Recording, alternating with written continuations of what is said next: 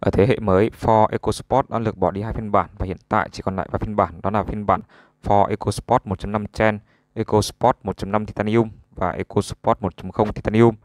Ở cả ba phiên bản mới, Ford EcoSport 2021 được trang bị hộp số tự động 6 cấp.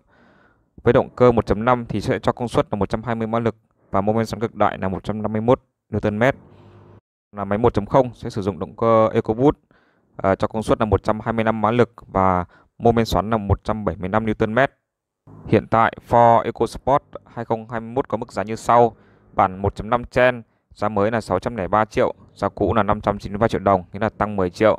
Bản à, 1.5 Titanium giá mới là 646 triệu, giá cũ là 648 triệu, nghĩa là giảm 2 triệu. Bản 1.0 Turbo Titanium giá mới là 686 triệu, giá cũ là 689 triệu, nghĩa là giảm 3 triệu đồng so với giá cũ. Ở mức giá này, Ford EcoSport sẽ rẻ hơn tương đối so với lại Hyundai Kona, mức giá từ 636 triệu, 699 triệu đến 759 triệu đồng.